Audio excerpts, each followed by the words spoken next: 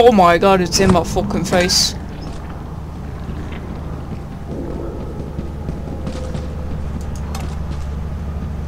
There's a key. He gonna get mad.